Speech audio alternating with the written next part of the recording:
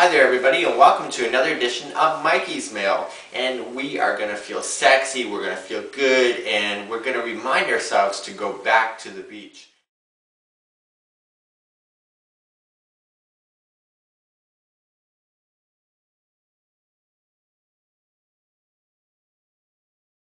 You go on vacation and you go and sit on a beach and all of a sudden a vendor comes walking by and they have these, these kind of bracelets uh, bling bling that are really kind of indigenous to the area, so you think, until you turn it over and realize it's still made in China.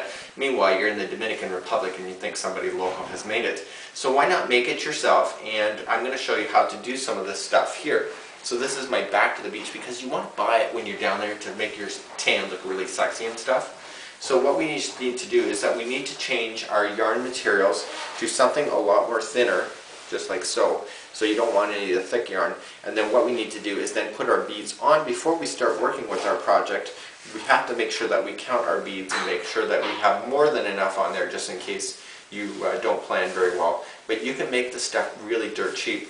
A ball of yarn is $5. The beads are a dollar at the dollar store for $6. You know how many bracelets you can make with this yarn. So you can make yourself a great thing. Your friends will love it. And you just don't have to do uh, bracelets. You can do uh, anklets, you can do necklaces, you can do a lot of stuff with this kind of gear. So this is what's coming ahead. It's the back to the beach wear with Mikey's Mail.